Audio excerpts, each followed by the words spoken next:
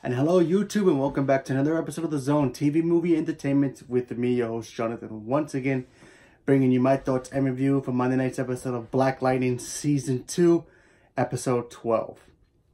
Now, in this episode, obviously, if you guys remember from what last week's episode was, Cleo died. So now we have the whole family literally trying to prepare and deal with the grievances of his death and what does that mean? What does Jefferson have to do to try to fight, you know, Tobias and how to get away from the streets? And, you know, we do see Jennifer dealing with the fact that he's gone now and going back to school and see how she deals with that. We got to see that. We also got to see um, Tobias try to go after uh, Jennifer and Thunder's mother due to the fact that he has one of the scientists that he, you know, he needs two scientists to help them with the pod children so that way he can use them for his own personal gain, I guess. So he can have unlimited power. So he needs Jennifer's mother.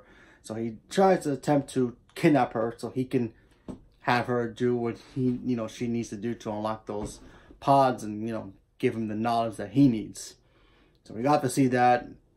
We got to see the other agency that um Gambi used to work for also go back to Jennifer's mom and try to get her to, you know, with the whole pod situation as well. So we got to see a whole bunch of back and forth with that. And of course, like I said, dealing with the fact that Jennifer is pissed off that, you know, she wants to go after Tobias, but, you know, she still doesn't have efficient training to use her powers properly. She got a handle in, in it, but not as much.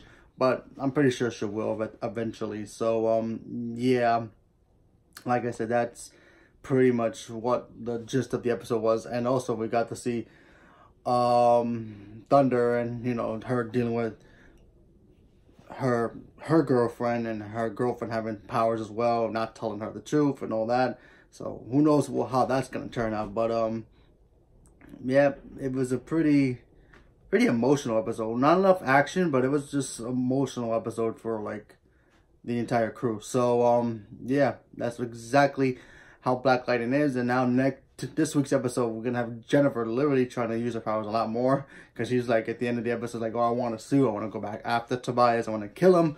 So how's that gonna turn out? Nobody knows, but um, we're just gonna have to wait and see and find out. So leave me a comment below. Let me know what you guys thought about it, and stay tuned for more. And thank you very much, and have a good day.